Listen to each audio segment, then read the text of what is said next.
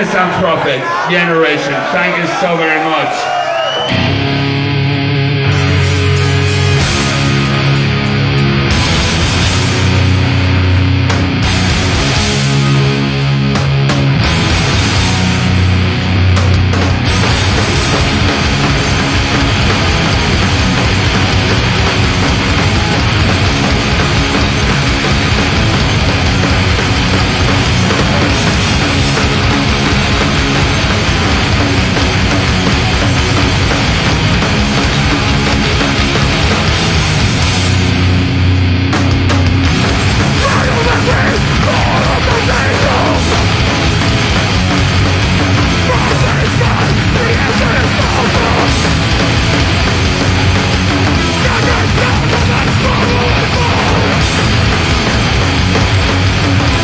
Thank you.